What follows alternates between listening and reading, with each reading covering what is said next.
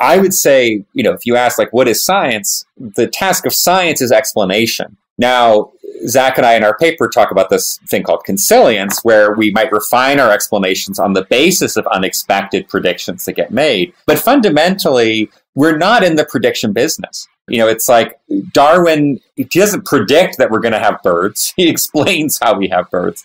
That's what makes him a scientist as opposed to, I don't know, like a engineer or something. What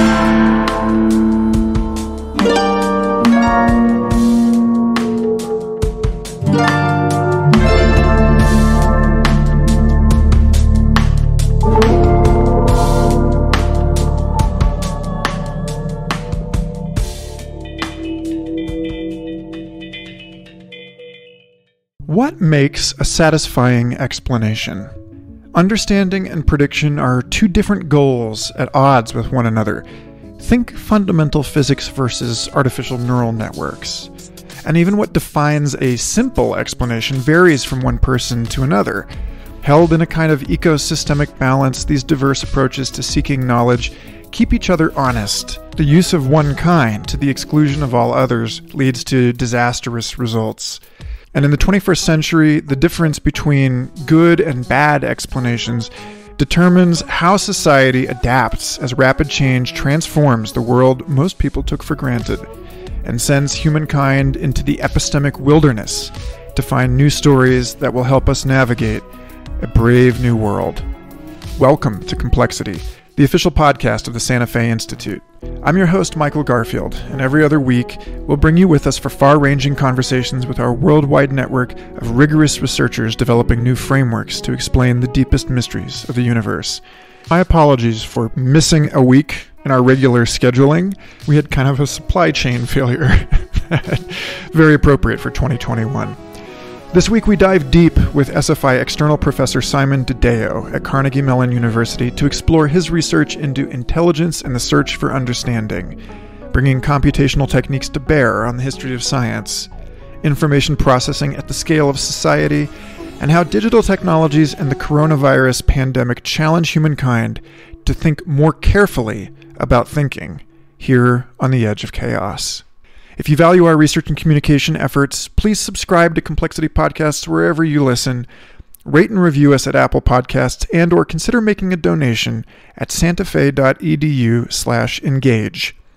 And be sure to visit the show notes for links to all the papers we mentioned, as well as to our latest volume from SFI Press, The Complex Alternative, which gathers perspectives from over 60 scholars in our community on COVID and complex systems, including an essay by Simon we discuss in this episode.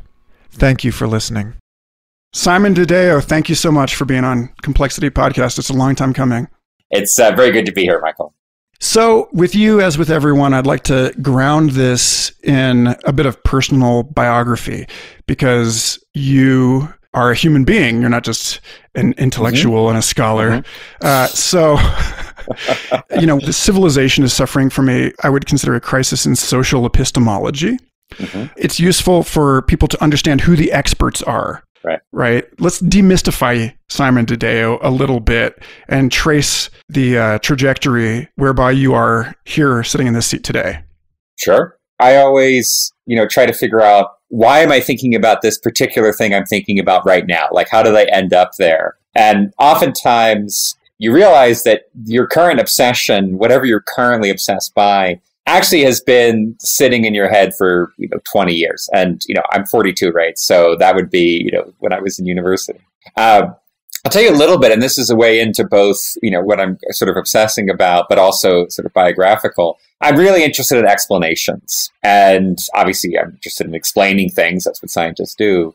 But i'm also interested in just the human practice of explanations. Um, you know what do we do when we explain things and uh, just last week, actually, my old PhD advisor, uh, David Spergel. So, David was at Princeton when I was an astrophysicist years and years ago when I was in physics. And David turned 60, and we had this enormous party for him. And by party, it means we all just gave lectures about our own work. And David's very gracious because he let us do that. But it was really fun to be back with the old physics gang where I came from, see some very old friends, people I hadn't seen for a long time because, of course, eventually I ended up outside of physics in Santa Fe Institute where, you know, physicists go to change. And, you know, among other things, you know, in addition to being like, oh man, the old days, like back when we didn't know the shape of the universe, and then we know, now we know the universe has a certain shape, and this is what it is. Um, but I also realized, like, I came out of this extraordinarily functional world. Physics, certainly astrophysics in the early 2000s and still today, is just like, it's a paradigmatic example of a successful science. It's a science that's achieved remarkable results. It's a science that has, you know, come to common ground on I mean, dumb things like the statistical analysis. Like we don't have p hacking in astrophysics. I mean, we have like there was a joke, right? Somebody was doing it for a while, like, but we're statistically healthy. We like each other. Like no one's fighting. It's not like linguistics where you know all of Chomsky's students hate each other you know, it's like people are just flourishing intellectually. The field is flourishing and it has been flourishing for decades and decades. So, you know, today I think about people explaining things and I think about people explaining things, you know, where it's going wrong, right? But why am I so interested in explanation? It's because I think I saw it going right for so long. Uh, I saw it in these contexts uh, where we had, I won't say we had solved the problem of explanation, but we had established a set of values, a set of social practices, and then also, you know, our, you know, individual cognition, the way we looked at the world, all these things were working together in astrophysics you know, so that we could do insanely cool things like figure out whatever the universe is 12.7 billion years old by combining together the work of you know dozens of groups internationally. I, so anyway, I'm going on a bit, Michael, but I think this is one of, one of the things that's sort of fun for me is exactly like trying to figure out where where I came from. And since you asked, it's almost like I grew up with a bunch of athletes, and now I study people with broken bones. Okay. perhaps a bit more abstract than I was gaming for. But so, what got you from astrophysics to the work that you do now? Well okay, Let's practically, right? Yeah, yeah, yeah. Practically, non philosophically, astrophysics is a great success. But at the same time, I became curious about systems that were, let's say, harder to get agreement on, harder to study. One reason is, I mean, the old joke, right, in astrophysics was, you know, we have 10,000 people and four problems and um, you know I didn't like those odds. And I like you sort of know like okay I know who's going to solve these problems. It probably won't be me. But I became really really interested in you know what we obviously today we call complex systems, and I became interested in particular the ways in which we could study individuals. So early on, I worked in animal cognition. I work in human cognition. How we could study the ways in which an individual thinker can scale up and produce, you know, these kind of weird like social liquids, right? Social crystals. So yeah, so I was at the time I was a postdoc at the University of Chicago. I was uh, working in, you know, very theoretical questions in astrophysics, and uh, I was in. Yeah, I'll get really cramped practical, Michael. I was in the basement of the seminary co-op at the University of Chicago, which is in Hyde Park. And the seminary co-op, it's now moved to a nicer building, but at that point in time, it was like underground. It was this labyrinth. And, you know, I was looking for good problems and I was just wandering the stacks looking for good problems. I walked over to the philosophy section and I couldn't make any sense of what was going on. I knew there was really good problems in philosophy, but I couldn't make sense of what they were doing or how they were going to solve the mind body problem. And then I wandered into the biology section and I actually came across a book called The Origins of Order by Stuart Kauffman, one of the great, you know, early SFI people. And, you know, I started reading it, you know, in the bookstore. I just sat on the floor and, you know, read, I just inhaled it. And I mean, I did eventually buy the book and bring it home with me. But, you know, I had never really thought about biology seriously before. In fact, I, I'm in high school. I had this like big fight with my biology teacher. And so that was that, right? I, you know, I quit AP Bio because I just, you know, I had such contempt for it. But Stu's approach, the way he was talking about these problems, the way he was able to translate a question in biology into a question that had a flair for the mathematical, a flair for the universal, that was really enchanting. Because look, in the end, yes, like I'm really bored by the Krebs cycle. I could never remember all this stuff we had to study. But at the same time, yeah, like human beings, we're amazing. Like, you know, biologically as creatures, no engineer could build us. No engineer could assemble an ecosystem. There's an old line, I think it's Regina Spektor, right? You know, I'm perfect. My eyelashes catch my sweat, right? Like, it's amazing, like, the extent to which all these features of the human body combine together to produce a functional creature. So, you know, Stu's after this problem. And I sat down, I very quickly realized that Stu had teamed up with some very interesting physicists, a guy called, interestingly enough, Derrida, but not that Derrida, different Derrida, that, you know, he was engaged with problems in what on the physics side we would call a spin glass problem, which of course just recently won the Nobel Prize for recent. And so yeah, so I would this this started to obsess me. And then, you know, the other joke I tell, and it's completely true, is I got really interested in this and so I emailed like the 10 most interesting scientists that I thought could work at this level. And, you know, half of them were at the Santa Fe Institute, the other half were external faculty. And that was not by design. That was literally just, you know, kind of looking at the kinds of work that spun out from my interest there. And yeah, and I mean, I wrote them all emails, but half of them wrote back, and it was really sweet. So now I always, I mean, you know, I hate to say this, but people write me emails. Of course, now like I'm in this position uh, that some of these people I wrote to are in, and you know, I always try and write back, if only to say, you know, hey, I don't have any funding right now but uh, but you know, don't quit, keep going. Because I did. I mean, you know, of course, it's it's always tricky. I did end up coming to the institute. Jessica Flack wrote back, who does a lot of things, uh, biological computation, more generally. Also worked, you know, sort of these at the interface of these theoretical and empirical questions. So I yeah, I came to the institute, and then you know, I guess the final joke, and again, it's totally true. Like I sort of made it so awkward they couldn't ask me to leave. That's not entirely true, but some people come, and you see this at the summer school the kinds of approaches, the, the dynamic nature of collaborations, the way in which we center around, you know, questions, not domains, problems, not traditions. That kind of stuff for some people, it just, it's, you, that's just what you want to do. And so that's in the end, Michael, how I ended up talking to you now. Excellent.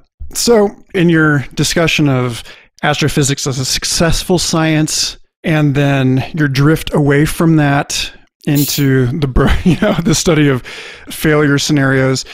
I, I'd also say, Mecca, I, I'm going to use a metaphor here. It's not broken bones; it's an autoimmune disease, right? It's a it's a case where the virtue of the body turns into a trauma, turns into a vice. Our immune system, again, like one of these, you know, mega things. Like it turns out we have this autonomous, you know, molecular drone system constantly attacking on our behalf. Uh, and that's great until it's not great. And, you know, things go drastically, dramatically, and chronically wrong.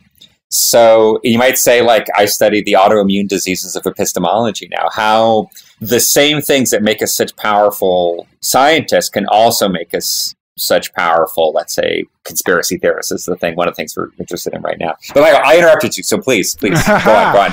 Well, this is great because you just handed it to me on a platter because I wanted to talk with you about a paper that you co-authored with uh, Zachary Wojtowicz from probability to consilience, how explanatory values implement Bayesian reasoning. And now I imagine probably half of our audience knows what Bayesian probability mm-hmm. even is, and the mm-hmm, other half mm-hmm. does not. So, for our purposes, you know, feel free to dip into that as much as you like. But mm-hmm. what we're really after is you talk about being interested in the autoimmune disease. Mm-hmm. And I think this paper does a very good job of unpacking how it is that people try to make sense of things mm-hmm. and what sort of constitutes a healthy immune system, meaning, right. you know, like a balance of different uh, heuristics for mm-hmm. understanding.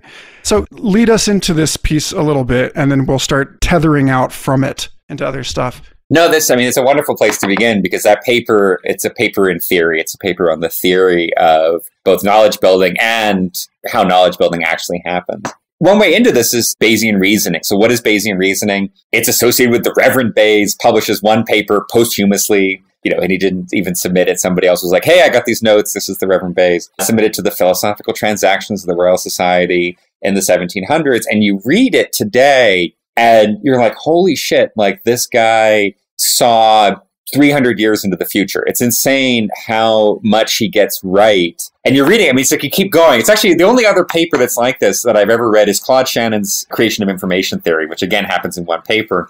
The Reverend Bayes' paper, it's the same thing. It's just slightly old style language, but you're reading it and you're like, I'm sure this is the end of the paper. And it's like, no, and yet there's even more that he understands. And then what's funny, of course, is that we didn't actually realize how much was in there until the 20th century. So at the time, I mean, people understood it. People, well, who knows if they understood it, but you know, it was published in the best journal in the country, if not all of Europe. But unlike, let's say, the theory of evolution, unlike the discovery of electromagnetism, unlike, you know, Ben Franklin flying his kite, We don't have monuments to Bayes, in part because I think we didn't realize how important the question was until we started trying to form reliable knowledge. And by reliable knowledge, I mean mathematically reliable knowledge. And that became a premium when our measurement devices got good enough that actually we were really getting quantitative evidence as not just qualitative evidence. And then, of course, we also had the ability to gather a great deal of information through machines. And finally, of course, maybe we had the processing power to do it because Bayes was like, oh, look, here's how you would infer things optimally. Good luck with that, right? Got to go.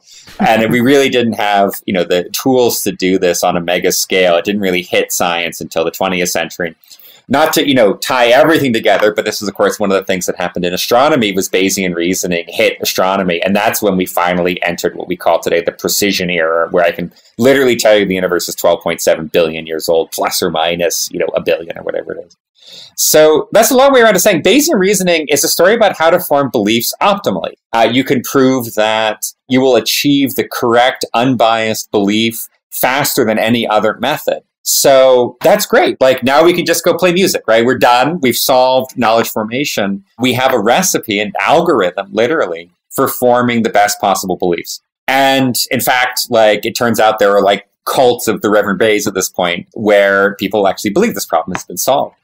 Um, of course, it hasn't, but the reason it hasn't been solved is very interesting. And the reason comes back to this question of what are called priors. At least that's what we come to call them. So it turns out actually what Bayesian reasoning enables you to do is to increase your knowledge from some previous state, right? It enables you to take your state of knowledge at point A and increase it by gathering information to take you to point B. And so it's actually the, you, might think of it as the optimal way to go from A to B. It doesn't, however, tell you how you got to A. It doesn't tell you where you begin. It doesn't tell you when you walk in to a laboratory, when you come into a new field, you know, you come into the Santa Fe Institute and you've never seen an animal before, at least in a scientific study. It doesn't tell you how you ought to, for example, distinguish between explanations before the evidence comes in. It doesn't tell you the ways in which you might attend more or less to some chunk of evidence over another. Uh, so there's a lot of these missing pieces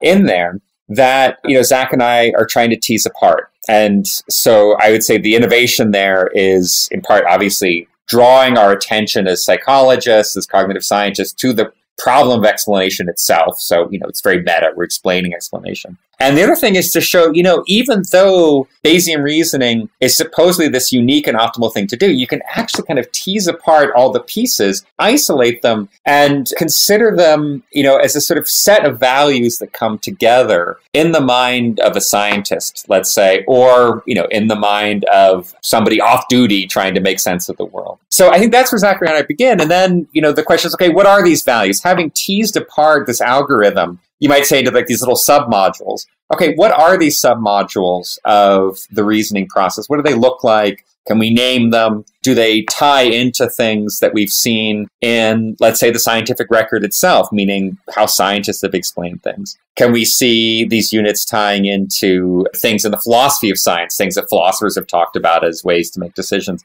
Can we see them tying into cultural practices of explanation that go beyond science. So can we see them tie into, let's say, how we tell stories, how journalists explain things, how historians explain things, how we explain things to ourselves in our diaries, right? So on and on, right? That was kind of our goal there was to sort of say, you know, look, from the outside, it looks like you have this unitary optimal algorithm for sense making. And yet, actually, you know what? When you open the hood and look inside, it's a collection, like this little jewel box of pieces that actually look far more philosophical, far more value laden than we might expect. So, in decomposing this, which you do formally, in exploring this, the two of you come across this important nuance, which is that what you and I consider a satisfying explanation is not necessarily mm-hmm. the same thing. And right. that, furthermore, what I might consider the simplest explanation isn't the same mm-hmm. thing. Working in social media, you see a lot of people who toss around Occam's razor. They're like trying to mm-hmm. cut each other with it. You know, they're saying this is what you're shooting for. Right. And you're saying, well, not always. And I'd like to hear you unpack a little bit about. I'm sure anybody listening to this will immediately recognize there are cases in which they adopt one or the other of these sort of modes of what satisfies mm-hmm. them when they're trying to come up with a story about what happened. Because I think we're already kind of like waist deep in this. I just want to point back to where we waded in and note that we waded past the issue that understanding something is not the same as predicting something. Yeah. Yeah, yeah. So, yeah, if you can. So, I mean, you know, this, yeah, absolutely. So, I mean, you know, here's an example. Let me just give you an example of these kinds of heuristic values in action. So imagine you meet a student, right? You're on a college campus, you meet a student, and you're, you're talking to her, and you're like, What are your classes this year? And she says, Oh, you know, I have a class in advanced French and I have a class in neuroscience. So let's say we're trying to make sense of that. We're like, okay, interesting, right? You know, and so you say, well, how do I make sense of this woman's intellectual life, right? She's a student, she's beginning her career as a thinker. How do I make sense of what's what's going on for this semester? And so, you know, here's one explanation, right? She's pre-med and she has an interest in French literature. Right. So that's one way to make sense of what's going on here.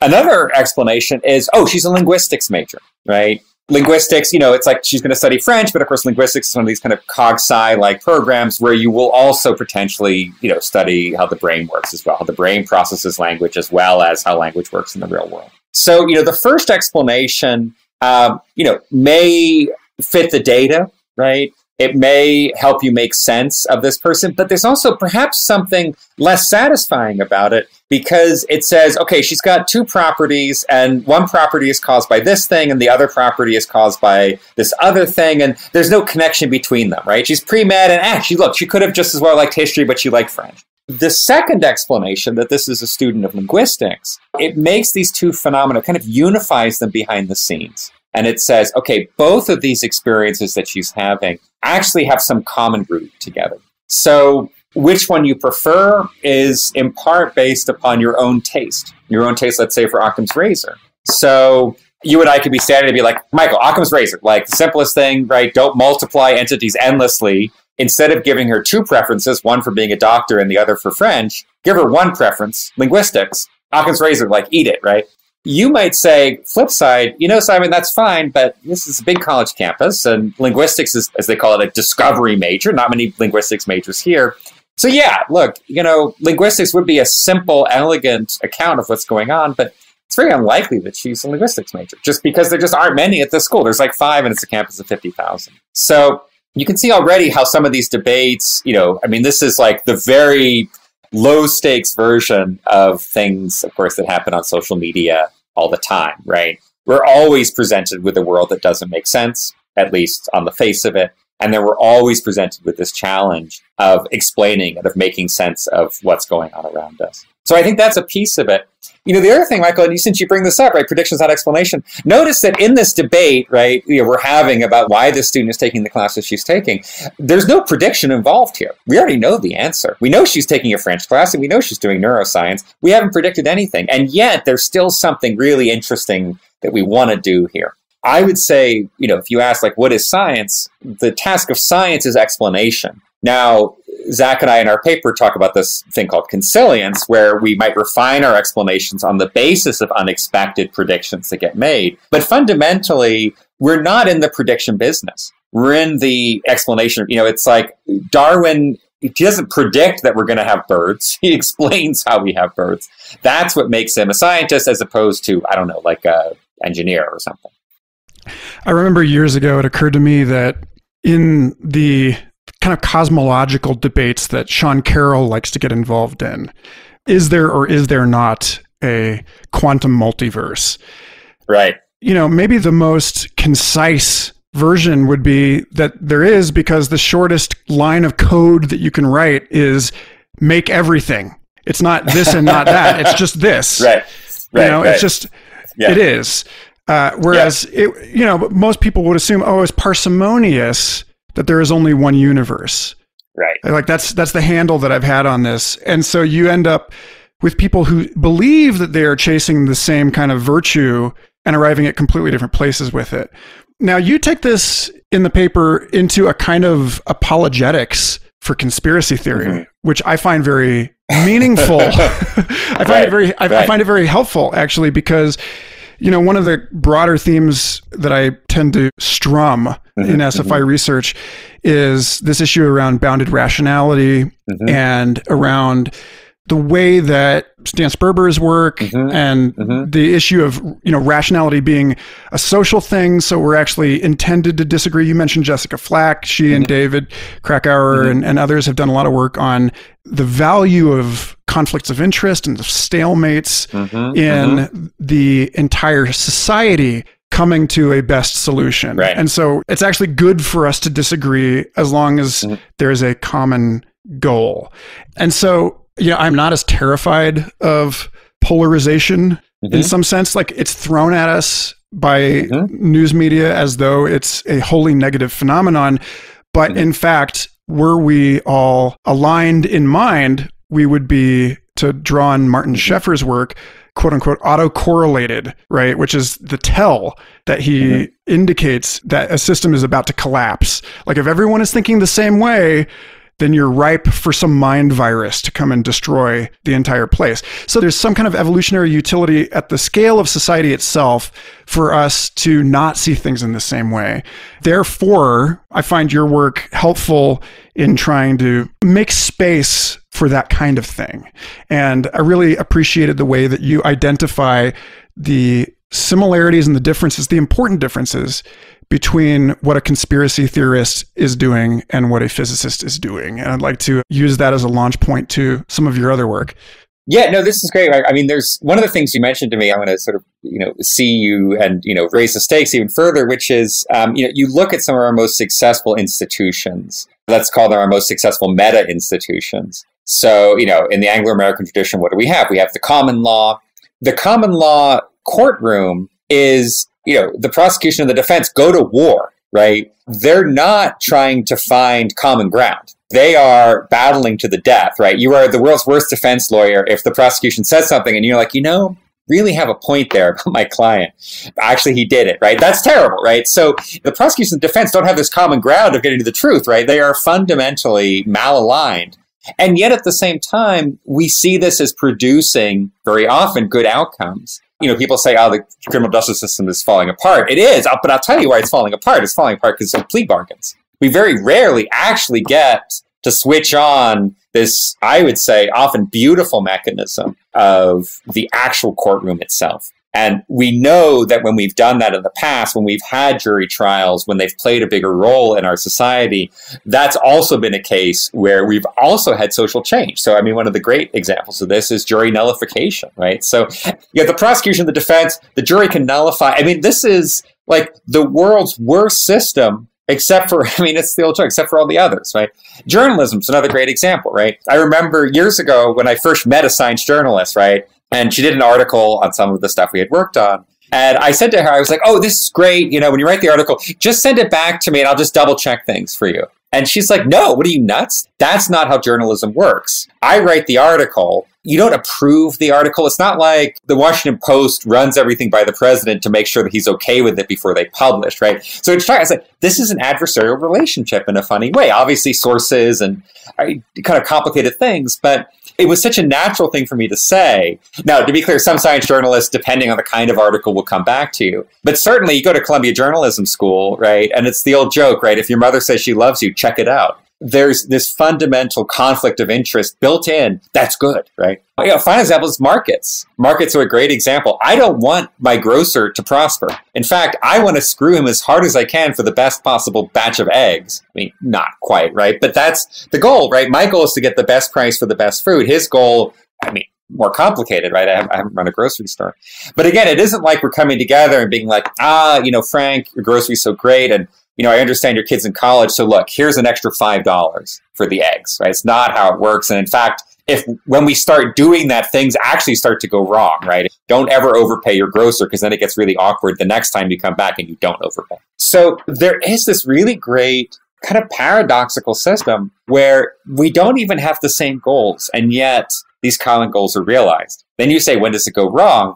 It goes wrong precisely when things correlate right? Plea bargains are a great example of this, right? The crime you're charged with now tells you guilty or not guilty, or rather, the crime you're charged with predicts your plea bargain, right? No law, right? If you're busted on drugs, it's just plea it, right? Because if you don't, you go to jury, the penalty will be so much higher I don't know if you can hear those sirens. I mean, I don't know if you can hear the sirens. It's very apropos, here. yes. Yeah, yes. right. It's great. No, they're coming for it.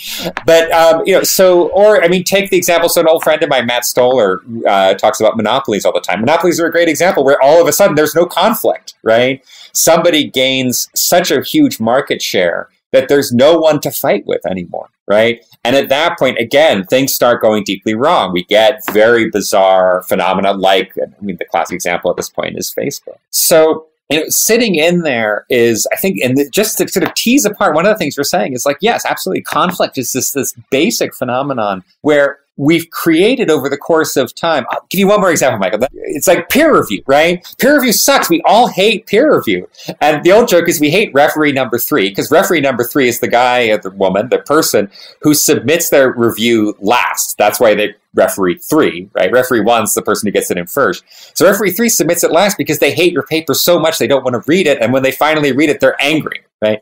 So that said, you can see this, and in fact, so we see this in some of the data. You know, when a field stops using peer review, right, and the scientific field stops using peer review, or peer review somehow is going wrong, the field itself starts to fall apart. And in fact, here's a, you know one example is we actually see that people get less creative when there's not peer review, which is really interesting. And so, why might that be, right? One reason people get less creative when there's no peer review is that now the only judgment that you can make about the validity of the article is whether it smells right, right? Whether it sounds good. Whereas if there's a journal with strong peer review, there could be an article there that's totally counterintuitive. And I'm like, well, it's in cognition. That's a great journal. There may be something more to this, right? So, you know, people hate peer review. I love it. I mean, I hate it, but I also love it. I hate it the same way a prosecutor hates the jury system, right? Of course, in one sense, you hate it because you're trying to win. But in another sense, you love it because that's, in the end, what establishes the legitimacy and the functionality of, in one case, scientific exploration, in the other case, community justice. So all these pieces are fitting together. Then you say, all right, okay, well, tell me about conspiracy theories because this seems to be a situation in which things are going deeply, deeply wrong. And, you know, while we might say, okay, somebody's like, I'm a bit of a socialist, but okay, uh, the price system's good in some places. Or someone might say, look, we have too many laws, but there are some laws we ought to have, and then we're going to have jury trials because that's that's a great idea. Conspiracy theories, it's you know, the first glance seems to be just crush them, right? And so you get all these questions from people that say, can we detect a conspiracy theory online and then just have Facebook delete it, right? And you and I, I think we both would say there's something wrong about this, right? We don't have to subscribe to the lizard people theory to think that there's something wrong with eliminating epistemic competition from society. If that's the case, we've got this intuition, then we have to say, okay, well, first of all, what kinds of conflicts work? Because there's always rules, right? There's always norms, right? In any kind of conflict, there's norms like you can't fix prices, you can't do insider trading, you can't uh, you know hide evidence if you're the prosecution you have to like show the defense everything you've got you know all the evidence you've got I know that just because I watched Law and Order. There's kind of boundaries, there's kind of fences and guidelines for total war, right? The cage match, there's a cage. So, what do we do when we see these conspiracy theories? I will tell you straight off, and you know we've done some work on this, and we'll talk about this in more detail. One of the things I say is there's no dividing line here, and what I mean by that is it's not that there's no dividing line between science and pseudoscience or history and pseudo history. What I mean is that the communities are very fuzzy. It's not like Scientology where you're either in or you're out. It's actually a very, it's a, what we would call a power law spectrum here, where there's no clear boundary between a member of one of these groups and a non member, right? When we look at any of these groups where somehow mentally something's going wrong, it's not like there's this hardcore crew. There's like a, you know, the kind of papal council. And then there's the satellites. We really see that there's engagement at all time scales depending on the individual. Someone might be there once, someone might be there 10 times, 100 times, 1,000 times. I think it's wrong to say that we have, you know, in the United States, 25 conspiracies. We don't have 25 conspiracy theories. We have, I don't know, sort of asking like how many oceans do we have well we can call it the atlantic but let me tell you i can swim from the atlantic to the pacific so i'm not sure what's happening in south america Anyway, that's that's a long-winded that's a long-winded account, Michael. That you know it begins because you said this really interesting thing. You said this thing about conflict, and then of course you know this leads back to this question where conspiracy theories seem like such a great example where there's one side that should win, and it's the good side, right? And I think both of us want to complicate that idea a little bit. So let's draw this down one atmospheric layer. You brought up earlier this notion of consilience. Yeah. And this is one of those virtues that becomes a vice. This is the epistemological immune system doing mm-hmm. what it's mm-hmm. supposed to do and then going mm-hmm. wrong. Right. And so I'd like to talk about that and then use that as a point of entry into, I think the first time I actually ever heard you speak, which mm-hmm. was mm-hmm. a talk that you gave at SFI in 2019 about your analysis of the records of the Royal Society and yeah. the history of science itself and the history of the scientific mm-hmm. explanation, which goes through booms and busts. Mm-hmm. To get there, though, I want to hear you explain how it is that physicists are specifically like conspiracy mm-hmm. theorists. Mm-hmm. Right. I mean, there's the dumb joke, right? Like everything is a conspiracy in physics, right? Like electricity and magnetism conspire to produce light, right? Over and over again, certainly in the physical sciences, but increasingly in biology, you know, the sort of the two sort of paradigms. What people are trying to do is show that many different phenomena, many different properties of the same organism, many different properties of whatever, a certain kind of solid, whatever it is, all can be derived from a far simpler model. If we go to that example of the student you meet on campus, you know, we're all trying to figure out what the linguistics major is, right? What the thing that, you know, co-explains or draws together distinct properties know, and we'll talk a little bit about that in a second. I think when we come to the historical analyses we've done, or we go back into the records of the origin of science. But let's talk briefly about what goes wrong in the case of the conspiracy theorists. Because in one sense, look, the joke is electricity and magnetism conspire with each other to make light. But we, it's in quotation marks. So what's going wrong with the conspiracy theorists? Well, what we see on the surface is very similar to science because the conspiracy theorists, just as much as the scientists, is making different distinct properties depend upon each other. And in fact, the more distinct the properties, the better. And that's true for both scientists and conspiracy theorists. So Oersted, the great Danish physicist, is the first one who says, wait a second, like this electricity stuff is like moving the compass around. Like this is crazy, right? So there's some, these two things seem to be so different and yet they somehow go together. The conspiracy theorist sort of does many of the same things, right? What Hillary Clinton is saying on TV, right, is you know connected to the pizza restaurant in DC and the fact that they're closed on Sundays. Like this all becomes part of some larger story about the world, right? And I'm referencing, of course, here the, the QAnon conspiracy theory, right, which famously, you know, tied you know, leading members of the Democratic Party to a pizza restaurant that was meant to be concealing child abuse. So the conspiracy theory does it, right? It's like, wow, like I go walk by the pizza restaurant and the properties of that pizza restaurant actually have something to do with you know what I saw in the debates. So what's wrong here? And you know, I think fundamentally what's going wrong for the conspiracy theorists, you know, a, a line that we can draw between these two types of people is the conspiracy theorist is lacking some kind of Occam's razor module. And so let me just let me kind of tease this apart for you. I know we sort of mentioned this like Occam's razor fights, right? So let's take another conspiracy. This is one that we use as an example. It's partly it's sort of less common now, but in the 90s we had something called the Oklahoma City bombing. So it was like a sort of you know, the largest scale domestic terror attack in the history of the country. And we know who did it. It's a guy called Timothy McVeigh, who was later executed. McVeigh builds this fertilizer bomb, uh, puts it in the back of a U-Haul, drives it to the federal building in Oklahoma City, sets a timer, walks away, and the explosion is so devastating, it's horrifying. The explosion is so devastating that many of the people were killed not by the falling building, but actually by the shards of glass that were sent flying everywhere. It was absolutely horrible. So, but McVeigh pulls this up, and no one knows who's done this. Like, there's no records. This machine has come in, and like, no one knows, right? McVeigh is certainly not a suspect. So, the next day, after this incredibly sophisticated, let's say, terrorist attack, McVeigh gets in his car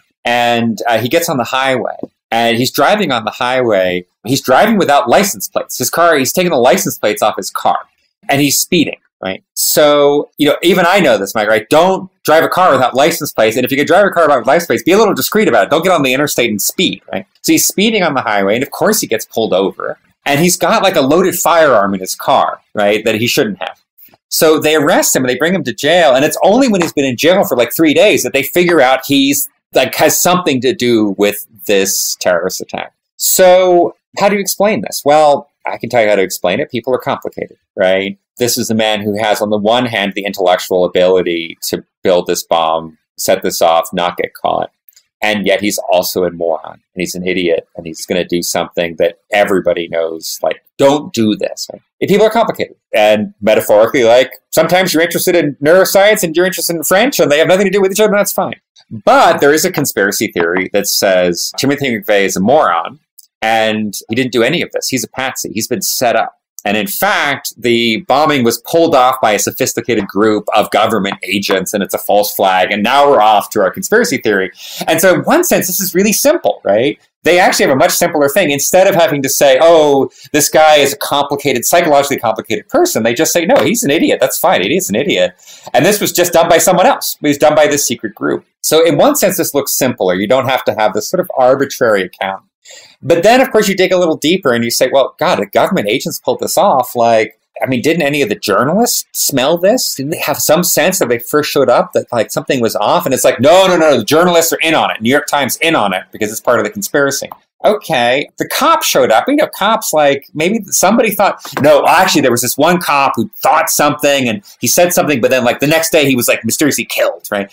And so the story keeps ramifying, right? And you're like, well, it's like the FBI is in charge of killing cops to you know cover up the government. The explanation, though, at the beginning it seems much simpler, right? In order to account for the apparent simplicity of the underlying story, these things keep ramifying. Things keep getting more and more complicated. And so in the end, you're left with a far more elaborate, far more um, arbitrary, far less simpler explanation. In fact, what the conspiracy theorist has done is very different. In electromagnetism, there's a single common cause, right, that explains the correlated phenomena. In the conspiracy theorist case, they're able to correlate the phenomena, but they're unable to preserve the simplicity that underlies that correlation. So, I mean, this is, you know, just to sort of tease apart. In one sense, the scientists and the conspiracy theorists get the same joy in the following sense. They love when two things are connected, right?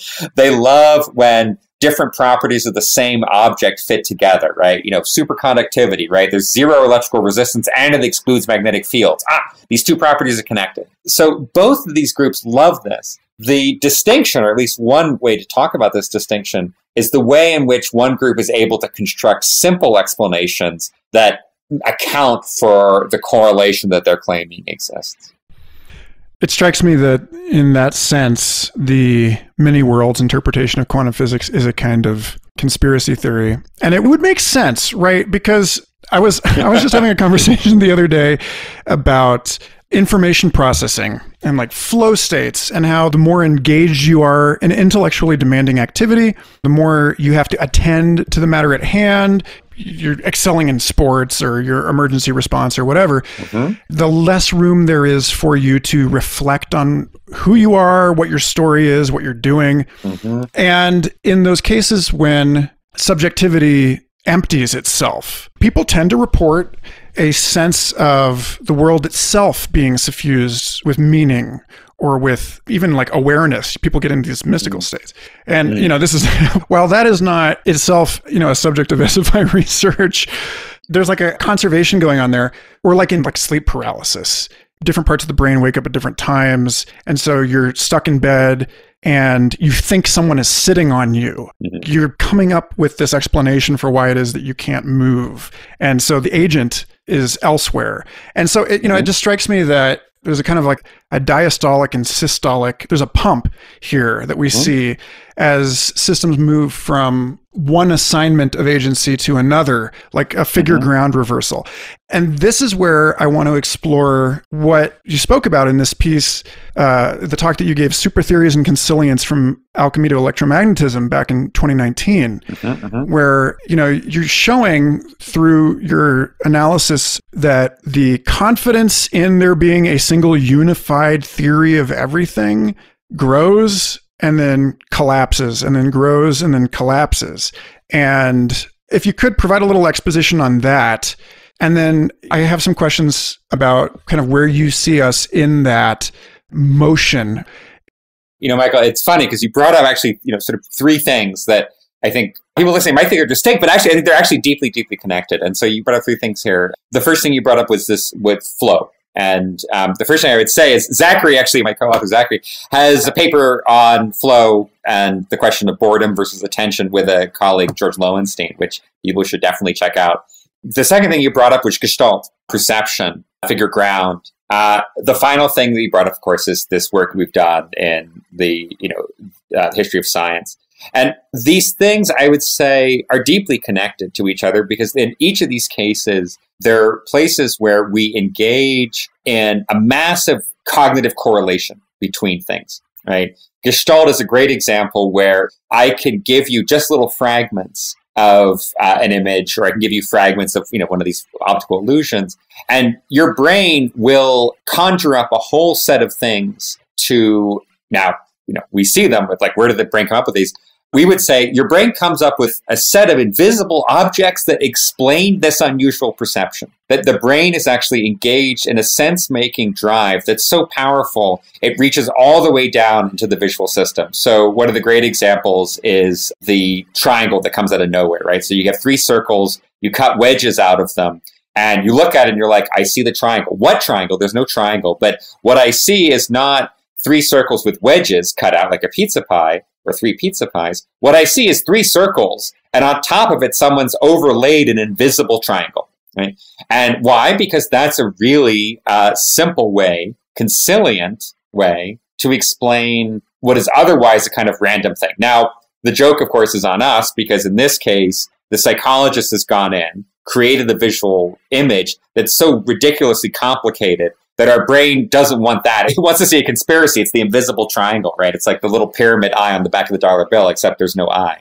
So, you know, the brain wants to do that. Uh, flow is, I think, another example. I mean, there's many, many things to say about flow. Uh, Csikszentmihalyi's early work on this. Zach has a wonderful account of flow as um, a way to manage attention. He's uh, you know, did work at CMU in this in psychology, but also in economics. He's got some really great stuff to say there. What I would say, uh, from my point of view, just you know, a simple account of flow. One of the things that it's doing is it's correlating the world around you. You're not in flow. I was at a meeting once, terrible meeting, where I'm talking to this person, and at the same time they're having a conversation with me, they're also checking their email, like literally typing out emails. And my first question is, who is so crazy that they don't realize that I'm sitting here watching them have a conversation with half their brain? Um, but of course, really, what we know is this person can't be in flow. And the reason they can't be in flow is because they're managing two sets of really distinct phenomena simultaneously, right? Whereas our sense of flow is the ability for your mind to understand all of the properties of your task as in somehow coming from the same root, right? So this is, I don't want to speak for Zach here, but this would be a case where your attention is able to center around something simple that, of course, if you're lucky, ramifies, right? You can get into flow in some stupid things like some dumb video games. But the ideal forms of flow are, um, you know, like the surgeon, for example. Another, actually, this is kind of a fun one. People get into flow. Csikszentmihalyi said this years ago. People get into flow when they drive. And actually, when he studied people, he said one of the classic flow states is, you know, if you're unlucky enough not to have a hard job, Michael, is, is driving. And this is a case where your body merges with the car, for example. So at this point, you no longer have a distinct experience of your car as an object and you as an object. It's one of its. So you asked me, okay, let's bring these all together. You asked me, okay, well, how does this actually happen in this more rarefied social case of science? Because the case of Gestalt, it's in your visual system, it's really immediate. In the case of flow, it's maybe more elaborate. You get flow when you play the cello, but it's still an individual level experience. And then, you know, what is this crazy flow state, right, that science has been in for 200 years? You know, so yeah, we looked at the Royal Society. We looked at the history of their records. The Royal Society publishes a journal called Philosophical Transactions of the Royal Society. I have good branding. Uh, so Phil Trans, Philosophical Transactions, you've already heard this, right? Because it's where Bayes published his paper, where his paper was posthumously published. For better or for worse, for the first 200 years, from like 1666, when the Royal Society kind of boots up, um, until the late 1800s, this is basically the premier journal. And for most of that period, it's the only scientific journal And it's certainly the only scientific journal that at least I know of for much of that period that has things like peer review. So in fact, Phil Trans invented peer review, or at least, you know, uh, made it such a key component of the scientific journal publication stage that we can't imagine journals without peer review. So we have these records. I should say, by the way, what's the Royal Society? Royal Society, it's dedicated to science. Um, David Deutsch, who maybe we'll have a chance to talk about when we talk about many worlds, David Deutsch say, you know, the motto is nullius in verba, right? Take no one's word for it, scientific method. Royal Society, really, though, secretly, it's actually just a fan club. They're cosplaying this early science fiction book by Francis Bacon years before called New Atlantis, right? So there's actually this wonderful thing where it's a little bit like Neal Stephenson, right? We read the book, the story of Anathem is so compelling, you want to build a monastery. In this case, they read Francis Bacon and it became so compelling they wanted to build New Atlantis, and so they built the Royal Society. Anyway, so we have their records, we have their journal. God bless the Royal Society. They digitized it and actually made it pretty, pretty good. We had a lot of help on that. So this is Will Thompson and, um, and Gabe Salmon. Gabe's now at Caltech. Uh, Will is doing secret things Los Alamos, I think. But what we're able to do there, we do a little bit of machine learning. And what we're able to do, and this is magic, I can't believe it always works, you're able to pull out word patterns, and these word patterns actually correlate very strongly with concepts. And this was a discovery that was made. A certain attack on text worked extraordinarily well. We discovered it David Blei in 2005. Topic modeling, it's called turns out it just works so well. We just keep doing it. It's like the thermometer. We can't get a better thermometer, right? So we're able to extract these patterns. Each pattern kind of sticks onto a concept. What we're really interested in is not the concepts because that's too rich, right? You know, what is electricity? I don't know, right? And actually figuring out what's in somebody's head when they imagine it too hard. What we can do is look at the ways in which those concepts get linked together. So that actually turns out to be a much more solvable problem. We can see the ways in which people start gluing things together. What happens over time? Now, so look, first of all, you go back to the 1600s, um, people writing articles, and there's always, every article has more than one concept, right? There are always, you know, articles are always but a bunch of things. They're always, you know, it's like, I remember because they have the Lisbon earthquake in the 1700s, which is this, this kind of traumatic event uh, for European society, at least Western European society. It's this Lisbon earthquake. You know, what is life? Who am I? We could die any moment. And so you, they have a special issue, and it's like earthquakes. What, right? And especially, you know, there's an article was like, you know, this reverend is like, let's talk about the philosophy of earthquakes. And another guy is like, earthquakes and like, do cows cause earthquakes? I mean, I'm joking a little bit here, but people are always combining concepts. They're always like, every paper's got more than one thing in it. But what we notice over time in the history of this journal is that people increasingly reliably link some concepts to other concepts. So it's not just that they're mixing stuff together, like let's say conspiracy theorists, like do cows cause earthquakes? You know, do birds exist? What they're really doing is they're discovering reliable connections between concepts. And you know, the one that will be most familiar to people perhaps is there's electricity and lo and behold there's magnetism. And all of a sudden people when they start writing papers about electricity start reliably sticking it together with accounts of magnetism right? The magnetism pattern the electricity pattern start to co-associate. This actually magically this happens um, well before the theory becomes explicit, right? So now we have electromagnetism, it's Faraday, and you know, but actually we start to see that co-association pattern like 30 years beforehand. So this gets very exciting. We can start to see people tying ideas together. You know, we have some forward view on this, and that raises the question, of course,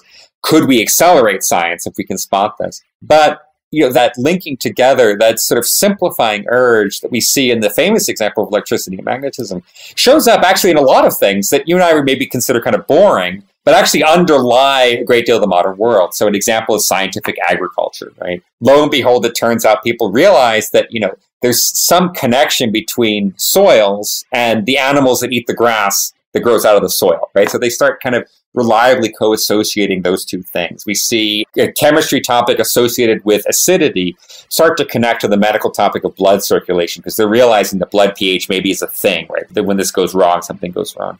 Um, so you know, that's kind of this, I would say it's sort of a triumphant story. And I say triumphant because like science worked, right? By 1890, you look back at the last 200 years and you're like, go humans, like, fuck yeah, humans, we did it. We, we had such great success. And so one of the reasons we turned to Royal Society is like, how did we do it?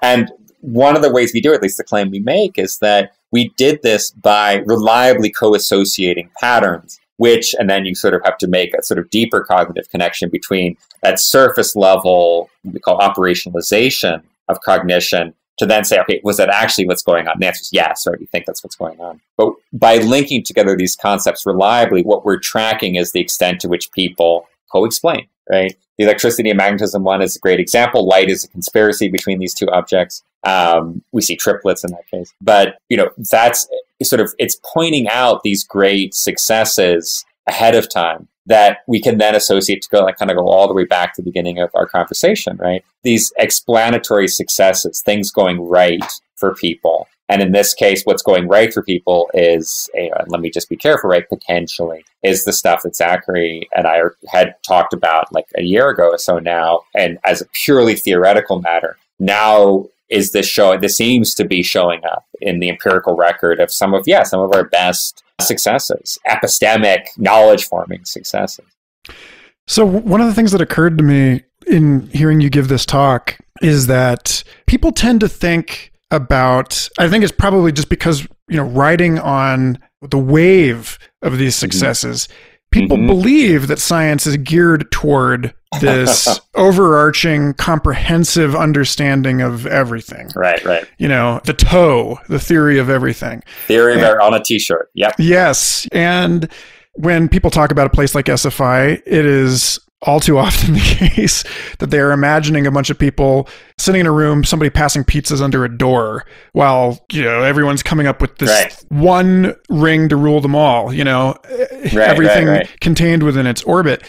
And yet, everything you've just said on this conversation so far is that yeah. actually, you know, that's um, a red flag. Like if it looks like we're mm-hmm. approaching that, then mm-hmm. here there be dragons. And uh, it's kind of related to, I think, some other work that's come out of SFI, there was a paper mm-hmm. involving a, a, bunch of people led by Jaewon Shin, Scale and Information Processing Thresholds in Holocene Social Evolution, which talks about mm-hmm. society mm-hmm. growing and there being this sort of uh, between uh, it gets to a mm-hmm. certain size and then it requires new information architecture the new mm-hmm. information architecture takes root and it affords a larger civilization that then uh, butts up against some new information processing threshold. In your uh, analysis of Phil Trans, you see this like every, I forget what it was, like roughly every century, I think. You see a period of several decades where the confidence in a unifying theory is in decline when things start slumping and mm-hmm. people don't know what to make of the world. And mm-hmm. it feels to me anyway, and I'm curious where you stand on this, that we're in one of those right now. And this is where mm-hmm. we can get into the piece that you just wrote for the latest SFI press volume on mm-hmm. COVID 19, where you're looking mm. back on the challenges to collective sense making that this has provided. And in fact, uh, Peter Dodds at University of Vermont, who mm. who just gave a talk at SFI yesterday, as of this recording, was talking mm. about the explosive spike in his uh, analysis of Twitter data in the use of the word sense making over the last year and a hmm. half. You know, that it's like clearly this is on the up because we mm-hmm. have suffered a trauma in our understanding mm. of things. And in this right. piece, you say it very well here. You talk about how it wasn't so much about understanding the symptoms of the disease, pointing them towards a virus, but understanding the virus as the symptom of some other larger systemic issue. And that mm-hmm. a great chunk of the debate that's been going on, and this mm-hmm. is, you know, where theories like QAnon have rushed in and all this stuff, is about from whence this virus, mm-hmm. right? Like, why do we have this? Is it a zoonotic right. illness? Is it because we are auto-correlating the surface of the planet into one homogeneous human-built ecosystem? is it, right, right. you know, is it a, you know, an escaped gain of function thing in which, again, you know, tempting to encompass the unknown in the known and so on. And, and you make the point that in retrospect, COVID-19 pushed our democracies further and further away from the coalitional politics of the 20th century and into a new epistemic realm. Our tribes may no longer be matters of common interest, but ones of common belief. In such a world, politics is won and lost not only in the material realm, but in that of ideas. So, you know, on the one hand, I guess what I'm coming at here is that it seems to me like there's a case to be made that even while all of us are so concerned about collapse, I say, you know, in the broadest sort of general sense, you know, people mm-hmm. are concerned about collapse but um, it seems like one of the takeaways from your work is that actually this collapse is a good thing, as traumatic, as difficult as it may be for us individually to find ourselves unmoored from a satisfying, simple explanation. It means we're no longer lying to ourselves about that simplicity. You know, to lean on or to nod to Stuart Firestein's recent SFI lecture, that there's reasons to be optimistic about uncertainty.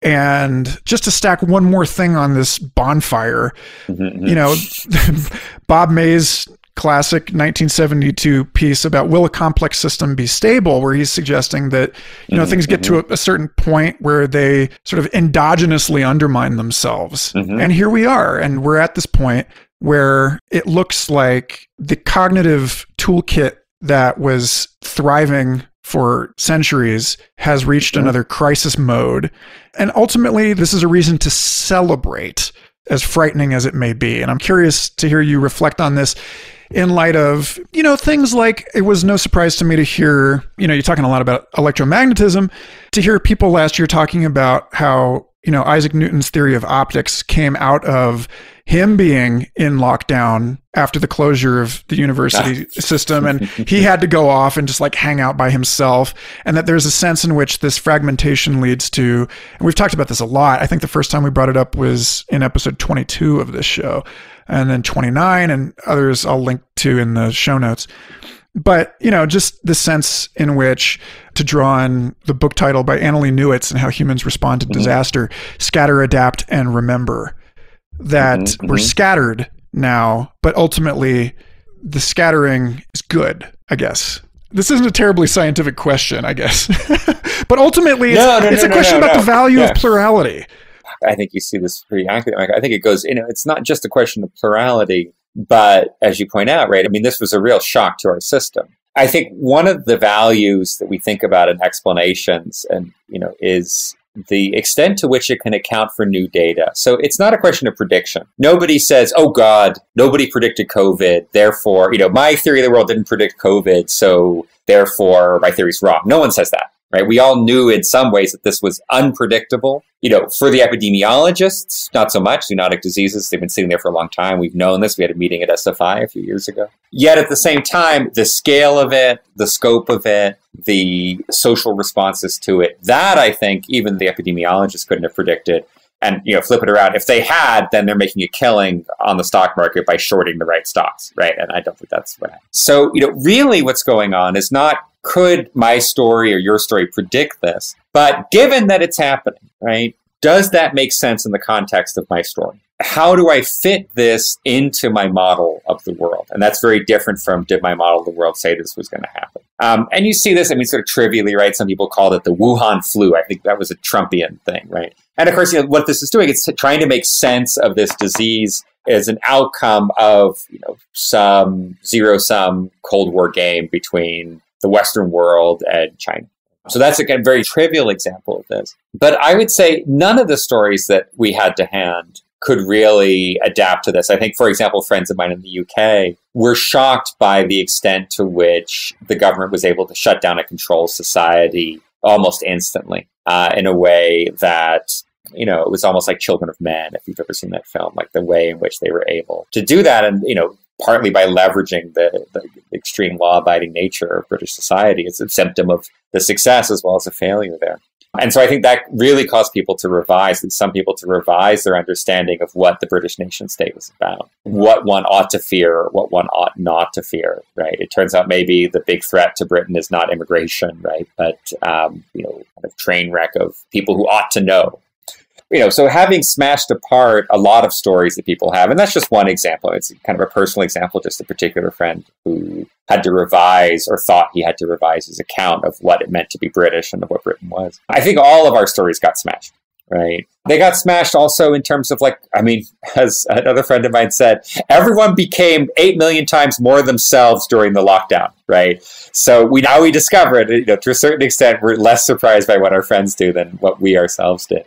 So, you know, we were confronted with these shocks, a shock to our understanding of the world, but also a shock to our self understanding. And that puts us in this very labile position, this very uncertain position where we don't actually, I think, know where our stories are going to solidify when one day they do, right? We don't actually know where we're going to end up. Whether, and this is something that comes up in that article that you mentioned that I wrote, you know, whether the political landscape will look anything like it did in 2010. You know, let's rewind it to you know, like 2008 when it seemed like, you know, an FDR world with, you know, interest groups, people who, you know, groups who form coalitions because they have similar needs and desires and then use the democratic process to balance them and to debate. Uh, that seems to be gone, right? What happens next, we don't know, but certainly the ways in which our political allegiances seem to be increasingly centered around how we make sense of the world, right? It's not, oh, I don't want a power line in my backyard. That's the old kind of politics. The new kind of politics is, do you think power lines are a symptom of, you know, the 5G coronavirus conspiracy? Or do you think power lines are a symptom of how capitalism destroys the world? Or do you see power lines as the next great hope and a symptom of the human species' ability to adapt to climate change? Right? I mean, like the object is no longer what matters so much as the story we tell about the object.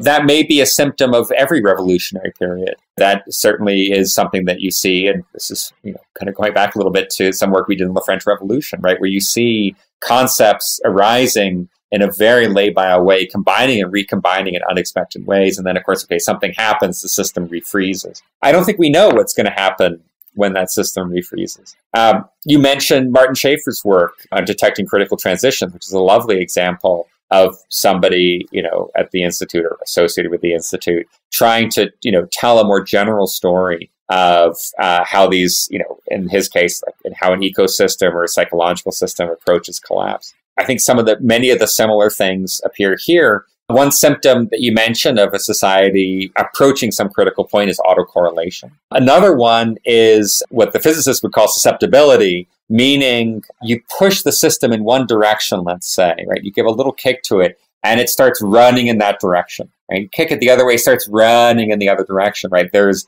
the system is actually extraordinarily sensitive to very small perturbative events. Like one blog post can, you know, change the world, right? One, we see this like more than one stuff, like one 4chan green text will change the world.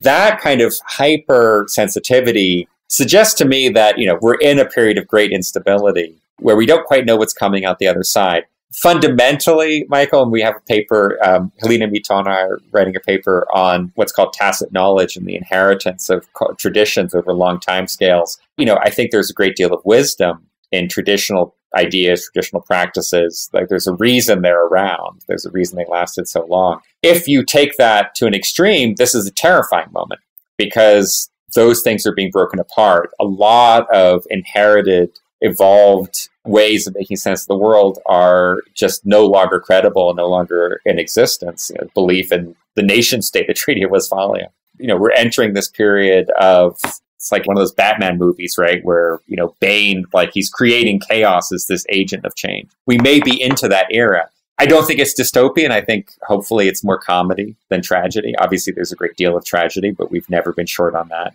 instability or not. I think there's more comedy to it. But if there's comedy, maybe there's also creativity and opportunity. I'm going out on a You've asked me to like extend my domain of competence outside of the scientific, and you know it's a hot mic. But uh, no, I think you know what I maybe what I'm trying to do here, Mike, is uh, less to sort of align myself with is this good or bad, and more to just kind of you know tell you what I'm seeing here from this kind of universal perspective that the SFI gang tries to make sense of, right? If we look at culture as an evolutionary process, we know evolution is, it turns out, a science, right? We know there are features of evolutionary systems that are shared. We know that there is a speed limit to evolution, right? The error catastrophe limit. We know that we have these incredible bursts, like a Cambrian explosion. We know we have you know, periods of stasis, periods of change. And we know a lot about the statistics of those too, right? So here we are, you know, Peter Turchin, and mention another person who's passed through the SFI orbit. Peter is much more pessimistic than I am. And there's a lot of value to Peter's point of view, not just, you know, because we ought to not be, you know, too American about this, but also because he sees a lot of social phenomena that I don't. We spend a lot of time in, in the lab working purely on ideas, on how ideas mutate and change and recombine and are created. Peter also spends a lot of time looking at the social structure And so, for example, one of his great points is the phenomenon of intra elite competition, which he says is, again, building to this point where we would expect a violent eruption. So Peter's on the negative side, right? I mean, and I would say, by the way, one of the consequences of something like intra elite competition is also a great degree of creativity. If everybody is trying to become the next member of the Supreme Court, you're going to see a lot of people experimenting with very weird ideas in order to make it that far. Same thing with most of our elite institutions. We actually, one of the byproducts may in fact be, and it was indeed during the French Revolution, a period of high intra elite competition, but also a period of great intellectual ferment and change and productivity. So, because you brought up intra elite competition, this is actually okay. Yes, this is good. This is good. You wrote a commentary a while back with Elizabeth Hobson. Yeah, on another paper, a paper, "Emergence of mm-hmm. Hierarchy and Networked Endorsement Dynamics." You, yeah. and, you and Liz Hobson commented on this piece called "From Equality to Hierarchy" about what causes a flat egalitarian society or right. system to stratify and become this few handful of elites up in a tower somewhere pouring oil on everyone else is is a fixation with prestige. Mm-hmm. Mm-hmm. It's a sense in which the environment is stable enough for people to encode a mm-hmm. one-dimensional value. Mm-hmm. You know that this is what we're going for, and like you said, you know, there's all these signs that the tower is crumbling or has started crumbling uh, you see, um, you know, Chu and Evans just put out that piece on the larger a field mm-hmm. a scientific discipline gets, the harder it becomes to innovate because there's so much new research coming out all the time. It gets back to that scale and information processing thing and the error catastrophe thing about how mm-hmm. people uh, no longer know how to navigate the info. So they just look mm-hmm. to where other people are looking. Right. And so, in that sort of like herd following activity, you end up with these massive citation biases, and all the innovative mm-hmm. stuff is lost. And it looks kind of like the way that evolutionary innovations are washed out in large populations due to genetic drift or something like that. So, yeah, so there's this um, question about strategy, and maybe this is the right place to land this. We have a sense that of course we are at sort of different phases you know if we look at mm-hmm. things in, on different levels mm-hmm. but mm-hmm. generally speaking civilization as we understand it is at a point where all of the systems by which we have come to encode these stable environmental features they're not working you know things are changing fast enough that a lot of four-year degrees by the time you get out of school most of what you know is irrelevant and yet Depends on the major, but yes, yeah. Yes. And yet we need something to hold on to. I guess the question of uh, tragedy or comedy is a Bayesian one, right? Like, what are you expecting? Like, hmm. in order for something to be a joke, you have to expect something and then have your expectations challenged. uh, whereas it's common among the chronically depressed Eeyore a statement such as like, "Well, I knew it was going to be bad." You know, there's the jouissance, the uh, the satisfaction of that self-destructive habit the regularity you know the certainty there. So i don't know i mean all of this points to the enactment of a kind of meta ritual of comfort in self-undermining. Like we ourselves have to go through a kind of a phase transition epistemically and uh, become much more competent improvisers or something. I don't know what are your thoughts on what is called of us as individually in this time and like how do you imagine i mean maybe that is a point a and a point b would be something like what do you see as the work of science collectively right now given this knowledge and you know knowing of course that this is all filtered through your local simon DeDeo bias and that there's a jury out there somewhere to disagree. well, no, I, am the universal prior. I, I you know, just give me the information. I'll, I'll give you the optimal answer.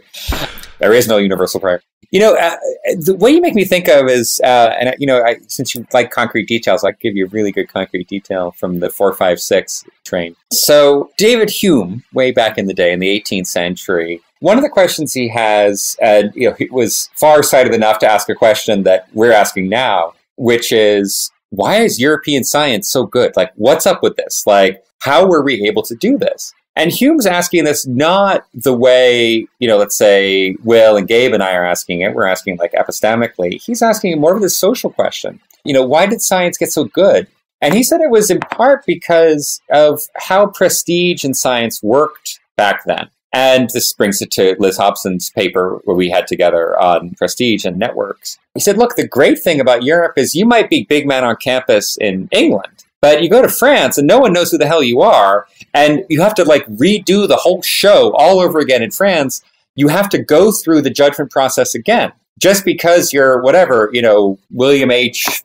Dietrich Chair of University College London and the, you know, the Moral Sciences Club and you're a whatever. You go to Paris and like, well, I guess you say I don't know what this is, but show me, you know, do you have any results, right? And so the fact that when you crossed a border, prestige vanished. I mean, he's overstating the case, of course, but roughly, he's like, when you cross the border, your prestige signals are no longer legible in this new location. That actually provides a much stronger testing ground for ideas, right? It's funny because, you know, as a Scotsman, maybe he has a better sense of this crossing the border, you know, past York to go back to England. You can see how reputations are hyper local in this case. And this for him is a moment of success. And of course, David Hume was writing right at this very chaotic period of the Enlightenment, you know, 17, I forget when he writes histories, uh, 1750s. So, you know, when we talk about, we've talked about chaos in different ways here. Um, we've talked about it as you know, a precursor to violence, but I think also, or at least a co-association with violence, but also as a point where there might be not just many ideas, but also the possibility of testing and retesting these ideas to get better ideas. So that's very exciting, right? And that's the you know question is, are we closer to that moment now?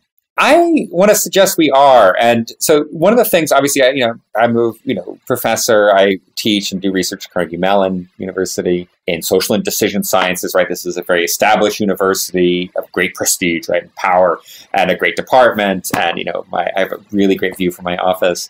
And the Santa Fe Institute, much much younger than Carnegie Mellon, but at the same time, like it's a high prestige place now. But I've become very interested in this question of what's beyond the academy right? Partly because years ago, one of the first bits of research I did outside of physics was in the study of Wikipedia. And Wikipedia between 2005 and 2010, maybe 2000 to 2010, was this extraordinary system. People built a cathedral of knowledge. I was going to say cathedral of learning. That's at the University of Pittsburgh. They built this cathedral, you know, entirely with pseudonyms, right? I mean, you know, it's like Woohoo Kitty, you know, user Woohoo Kitty, like, you know, put to, you know, help build a cathedral. And they did it without any centralized organization and without any real external prestige structure. They didn't bootstrap themselves off of the prestige of any institution. In fact, I mean, you know, Jimbo Wales, love this guy, right? Jimmy is a, you know, he's this visionary, um, and Larry Sanger is going to battle this, right? But um, Jimbo was, you know, crazy enough to just switch on open access to the Wikipedia system and let it run. And this was my first introduction to the potential power of new institutions that could emerge very rapidly and do amazing things. You know, without Wikipedia, I mean, Wikipedia is a primary people self-educate on the internet. It's insane how much value is sitting hidden inside Wikipedia that was put together. Wikipedia's changed a great deal. with actually paper on Wikipedia not being so great these days. This got me interested, and this has stuck with me. It's one of these sessions that stuck with me. Um, you know, what are other systems? And so, you know, for example, I'm teaching a course, uh, teaching a seminar on intelligence through the new Center for Research and Practice. So that's going to kick off in two weeks. Um, and I'm, you know, enormously excited about teaching this class on the philosophy of intelligence, science of intelligence. I'm enormously excited about the class, but I'm also terrified, right? Because the people taking this class, they're not impressed by, you know, Professor DeDeo, right? Like those prestige science, those status science, which undergraduates are quite susceptible to, they're not, right? So if this class is going to be a success, it's going to be a success because it works, right? There is I see certainly outside the elite institutions a great disappointment um, by many young people. You get a great education at Stanford, no question. You get a great education at CMU, no question. Harvard, I don't know, right? Uh, but many young people are saying, look, a lot of these institutions, they feel, justly or not, are bankrupt. Um, they see, you know, enormous amounts of money get siphoned off in the wrong directions. They see, you know, a very high price tag for very low instruction. And so it's not just that people are dropping out, many people realize you've got to have a college degree because intra-elite competition, right? But they're also incredibly demanding of new knowledge in a way I think we weren't. You know, after I graduated from college, I was like, oh, great, I'm going to do some science, it'll be fun, right? But I wasn't self-educating at the scale that people are doing so now, even coming out of elite institutions. So I was just, I had dinner a few nights ago up in Harlem where, you know, meet a lot of people who incredibly intellectually curious and now operating outside of the university system, creating their own institutions, for learning and research, creating their own cultures and, let's say, nations. So when I cross the border into Harlem, it's like the scientist in Hume's period crossing from Britain to France, right? If I get a hearing there, it's because I've got something worth saying, worth hearing, and not so much because of any kind of CV, right? So this is actually, there's a great deal of excitement here in the ways in which you know we have this um, Lysistrata, right? This breaking up of strata, this lysis that seems to be happening now, which may actually have very positive things. And I keep going back, and Mike and I, we've, we've, got, we've got well over time here, but keep going back to you know Peter Turchin, right? So Turchin sees the violence, right, and I see the creation. An early paper, just to be clear, an early paper we wrote was about like you know the disappearance of violence from society and how awesome this is, and like violence is awful Turchin and I both see the threat of violence, certainly. We certainly got close to it. We've gotten close to it in the last couple of years, the threat of violence. Whether that actually becomes real, I mean, that's a question that we'll have to wait and see, although, you know, Turchin is going to have a stronger view than I do. What I see at the same time, though, is that chaos, that uncertainty, that breaking apart of elite institutions, or at least the fact that elite institutions are no longer sufficiently large to satisfy the ambitions of young people. That, to me, is producing a very, potentially very healthy uh, intellectual life going forward. And that's, I think, you know, is where I end up in this very optimistic place. That's where I think it makes sense to wrap this with. Great. Okay, Michael, I love you. Um, yeah, this was awesome, Simon. Wonderful to see your family. Ciao, ciao. Thanks. Take care. Thank you for listening. Complexity is produced by the Santa Fe Institute, a nonprofit hub for complex systems science located in the high desert of New Mexico. For more information, including transcripts, research links, and educational resources, or to support our science and communication efforts, visit santafe.edu slash podcast.